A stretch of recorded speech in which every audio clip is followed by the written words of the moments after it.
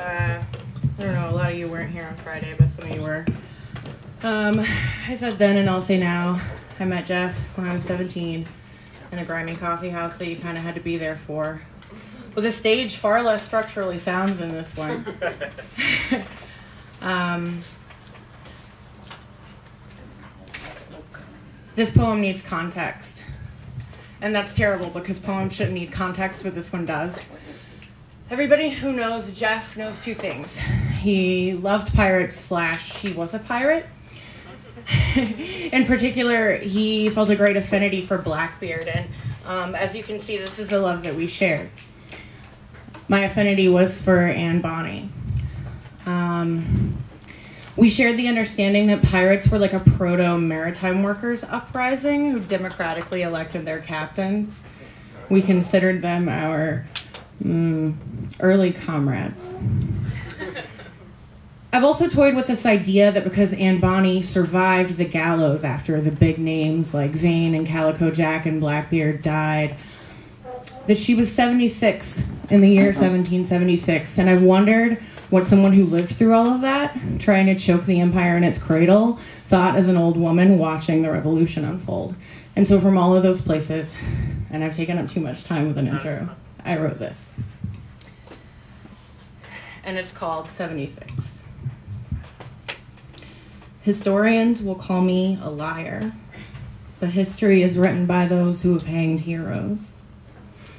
One, she sits in the half illumination of lifeless whale oil glow in a tiny house by the sea. A place with good bones, but that nonetheless could never quite manage to take on the fragile shape of home. The outside world is a screaming, bloody infant birthed bitterly, but she can no longer make out the details the bending light of burning fury, nor the width and breadth of the chasm opened, the gaping maw under the feet of the throne.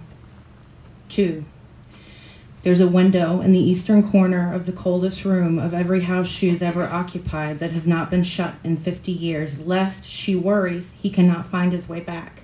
Worn souls and their saltwater tracks everywhere. He leaves the smell of rope and gunpowder. He is not real.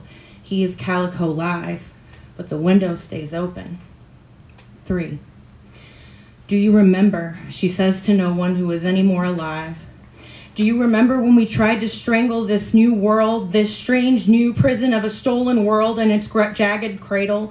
Do you remember how they fell, one by one, the ghosts of Nassau, Tortuga, Kingston, the Cape, and Ocracoke for all of our troubles? Do you remember the glorious terror tightening the neglected muscle in the center of every rich man's chest, mirroring his constricted trade routes? A terror created by the roar of our frenzied collective understanding that empires persist only when we believe them to be inevitable, and we would never believe that again. I have walked with giants, with legends, with honest men, with beards of flame enough to turn kings to stone. Do you remember, friends, when we dared to be free and they'd hanged you for it? No great hardship, Mary had said then, but then Mary hadn't seen the rope coming. Do you remember the way the earth shook where you stood on the day that Blackbeard left us? A merry life and a short one. This, a well carried line in well worn pockets, whispered to well worn hearts haunted by too goddamn many empty chairs. Too many friends called monsters, called titans to name. Too many myths and storybooks who to her were nothing more or less than her own flesh, whose decay held her secrets and her heart. And though, as though infamy purchased immortality could be contained by the swaying of a gibbet, every soul to discover themselves on the lips of emperors and tyrants, called hostis humani generis, called the common enemy of all mankind, keeps these lines as wards, charms, protections against the noose and the cell and the bone cold that only those who were hunted and hated by pamphleteers and parsons will ever know.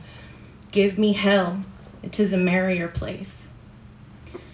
On nights the regulars march, she wills herself an incautious young woman, still copper hair tinged with wood smoke, Jamaican rum on her breath, spinning the future with gyromancies, telling tales and readying her pistols to ride with them. Still she cannot help but wonder when the slaving masters they now fight for will reveal themselves indistinguishable from old monarchs whether or not the skull and bones of her brothers, lovers, and comrades stir at the cries of liberty or death, but somewhere she holds a deep and sober knowledge that Charles Vane is shouting past a veil that each year she ages has tattered. Do not trust them. These men who will offer a pittance of a wage for your life have only surrendered crowns and titles in favor of a more modern aesthetic. Is anything ever truly for nothing? Can any distant part of this dying earth that our blood still fertilizes be so far away? Time and the histories of biased men distorted the shimmer of their struggle. The sharpness of stars against the black calm of the sea would not find its way into any history book, nor would the way they laughed in the face of the men who would kill them. What is lost in the endless cycle of creation of heroes, of villains, and the winner take all narrative reality of future tellings is the truth. Curious little feet find their way up her path at least once a week. Though her name had changed, and though the posters never did do any of them justice, townfolk whispered, and while the older ones kept a wide berth, the children require stories. More recently, their unlined faces sought a comfort that their papas could beat the lobsters with their ships and their guns and royal majesties just as well as the old woman living at the edge of the sea. She could not bear to tell them the exact weight of loss, its shape or proportion, or the precise manner in which one's entrails are messily excised by sorrow, regret, and gaps in memory. So she told them instead of the dark haired man with the booming laugh who was feared by all but those who loved him. And she dared them to hope and fight and bleed until they had no more breath. This, she said, is how we lived. This, she said, is how you will too.